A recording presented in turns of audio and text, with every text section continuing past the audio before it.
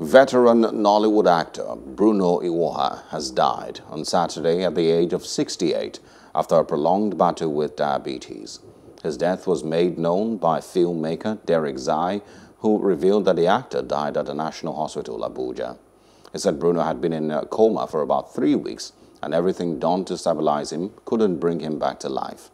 National President, Actors Guild of Nigeria, Emeka Rollas, on behalf of the Actors Guild of Nigeria, commiserated with the family, friends and fans. He prayed that God would comfort them at this moment of grief and that all the souls of uh, the faithful departed would rest in peace. Hope you enjoyed the news. Please do subscribe to our YouTube channel and don't forget to hit the notification button so you get notified about fresh news updates.